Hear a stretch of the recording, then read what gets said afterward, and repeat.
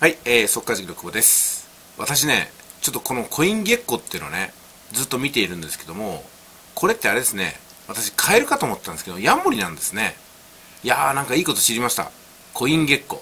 だからコインのヤモリってことですよね。これにまたね、英語的に何かの意味があるんでしょうけども、それはちょっと置いといて、今日の文章を読んでみようかと思います。コイン月光さんからメールをいただいております。別の日、別のテスラ、ヤモリ。テスラに与えられた権力によって暗号通貨の世界は歴史的な瞬間を経験します。テスラはビットコインに投資しました。これね私ね本当だったんですね。ちょっと1日遅れで大変なことだなと思いましたね。SEC に提出された年次報告書の中で電気自動車メーカーは合計15億ドルのビットコインを買収し同社はデジタル資産を随時取得して保有する可能性があると述べています。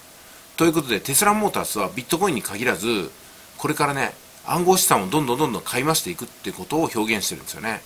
これはね、例えばイーサリアム、これをもっともっと押し上げていくんではないかなと思うし、XRP ももしかしたらね、これで買収されていくんではないかなと。私としてはね、ADA を一点集中してもらいたいですけどね。まあ、ノアコインは絶対変われないでしょうね。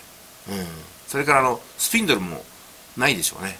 まあ、この2つに私なんかね、特別な思いがあるわけじゃないんですけども、これほど有名になったのに、これほどね、固化した暗号通貨はないと思いますよ。その、ノアコインとスピンドルについてはね。うん。えさらに、テスラ将来、ビットコインを自社製品の支払いとして受け入れる予定です。これすごいですよね。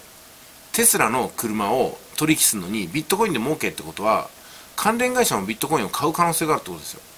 ですんで今500万ですけども、これ1000万になったり1億円になったりするっていうのは十分ありえますね。うん。このニュースに答えて BTC の価格は過去最高の4万8200ドルを超えました。これは私たちが振り返ってビットコインが主流になったことに気づくポイントかもしれません。うん。まさにビットコインっていうのは一強でしょうね。えそしてビットコインに遅れてイーサリアムは ADA が来るんではないかなと思います。多分ね、XRP はね、うん、わかんないですね。すいません。今日のニュースでは暗号通貨の売上高は8000万ドルを超え、カルダノとポルカドットはチャートを上回り、マイアミの都市基金はビットコインをターゲットにしています。これちょっとよくわかんないんですけども、どういうことなんでしょうね。えー、まあちょっとコイン月光見てみましょうか。ビットコインね、20%の上げ。全部値上がりしてますね。イーサリウム10%の上げ。ポルカドットこれちょっと私知らないんですけども、18.8%も値上げしたんですね。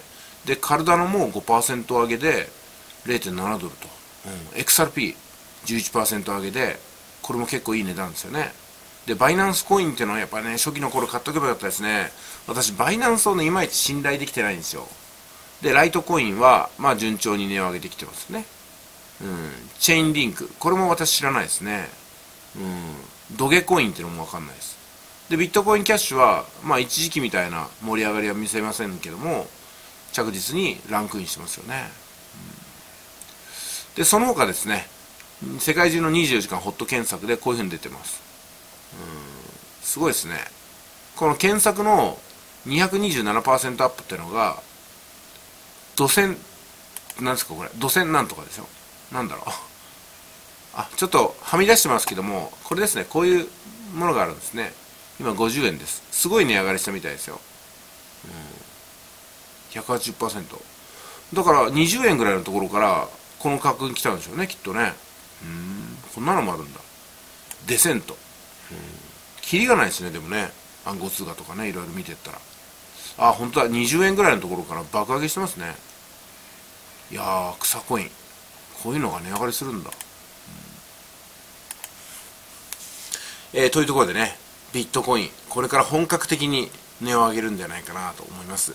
今まで何度もね、これからがビットコインの値上がりだよって言ってましたけども、今までのは全然でしたね。500万に来るまでにいろんなドラマがありましたけども、それをすっ飛ばして、多分ね、今までの歴史の10分の1ぐらいのペースで1000万は達するんじゃないかなというふうに私は思いますね。うん。だってこれから2倍になったら1000万ですよ。今まで何回10倍を繰り返してきたんだって話じゃないですか。だから売買のペースは落ちていくんですよ。だからボラティリティは収まっていくんですけども。けどね単位がでかくなりますねこれはね。1ビット1000万。うん。じゃあ10万円で0.01ビットですか。まあそのぐらい買っておきましょうかね。うん。まあビットコイン去年仕込めてよかったと思います。ね私の動画を見てる方もやっぱ大半がねビットコイン去年の100万円上がるまでに95万前後で仕込めたんじゃないですか。よかったですね、えー、見れば儲かる暗号通貨ニュース速稼塾の久保でした。いってらっしゃい。